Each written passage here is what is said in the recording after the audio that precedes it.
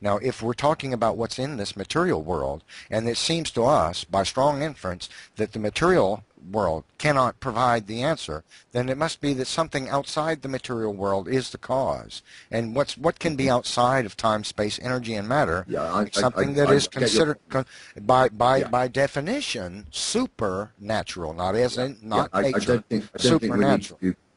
Yeah, okay. I, I, I, I, I- I see where you're coming from, and I don't think you need to go any further because I know uh, what you're going to say.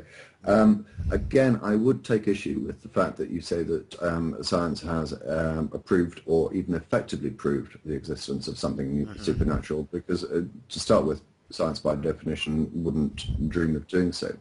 But I think one of the um, But I, I would say that I'd science has inadvertently if, if done you, so. If you have if you have a particular scientific paper that you think does actually say this is proof of God, then do tell me about it. But you won't be able to do so. But, but you don't expect such a thing to even be published if one did, would you?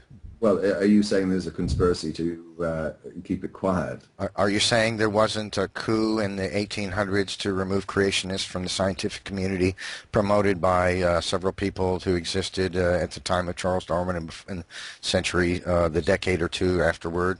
They didn't continuously slander creationists in the newspapers, and Charwin, uh, Charles Darwin didn't have his bulldog who wrote articles for the Times under the premise that it was actually an author of the newspaper that wrote it, and all these things. You're not aware of these things, right? I, I, I am not aware of them, and I, I, I Okay. fear that we are likely to uh, be moving into um, territory that uh, is, is somewhat off topic. So um, if, if I can, because you, you've raised three points that I was seeking to address, and we're only halfway through point one. Um, so if we could try and, um, uh, uh, and stick on topic. Um, in relation to um, science and its inability to explain certain things. Um, I, I, I fully, I fully accept that. I, I, I don't accept that uh, science has proved the existence of a God. Now, I, I also would go as far as to say this. Um, there are many things that um, I would love to be able to understand uh, about um, science, and uh, I regrettably suspect that I, I, I simply do not have the mental capacity to do so. Um, and one example I will give is um, a lecture given by Lawrence Krauss, um, A Universe from Nothing. It's readily available on the internet. From nothing. Uh, he is a, a theoretical physicist, and um, he gives a, uh, a very entertaining um, and interesting uh, lecture uh, of about an hour.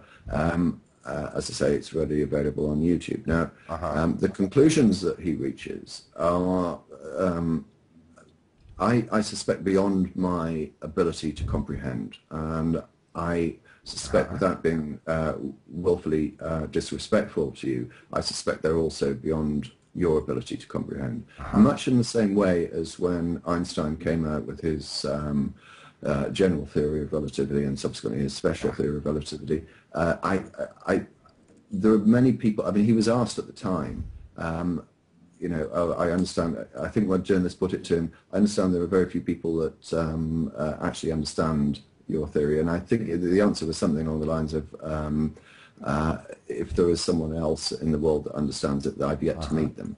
Now, the mathematics behind his um, uh, equations uh, is actually relatively straightforward. I can do the maths, but I can't do the mental conjuring to, that that, that um, allows me to fully comprehend, you know, the, for example, the um, time travel or, or, or the inability of time travel, the um, the the twin uh, paradox, uh, things like that. I've I've thought about it. I've gone through the maths and I can see how the maths works, but I can't mentally conjure up this thing. So I suspect that the human mind, in many regards, hasn't got the capacity to understand things, and I do suspect, uh, to a degree, that um, this this inability to understand and a desire uh, for answers, because we are inherently curious beings.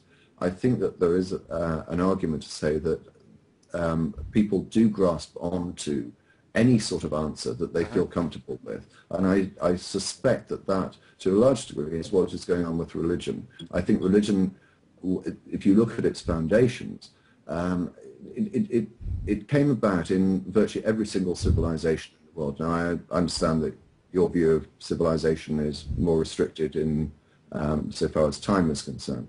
But every single uh, civilization, except I think one recorded instance of a tribe in, I think, East Africa, they have all created some sort of deity or some sort of god or gods. Uh, I think this is a capacity of the human mind.